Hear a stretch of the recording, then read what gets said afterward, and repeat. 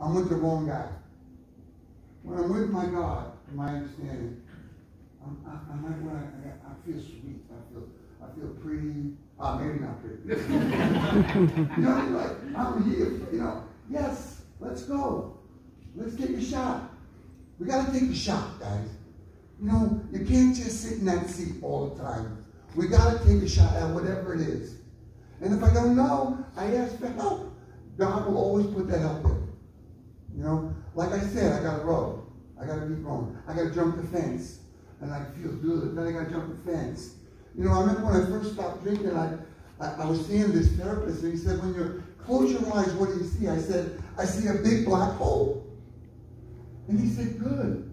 He said, now you got to start going in that hole. And my first thought was, are you crazy? I'm not going in that hole. But I've been going in that hole ever since. And, and it's, it's, it's freedom.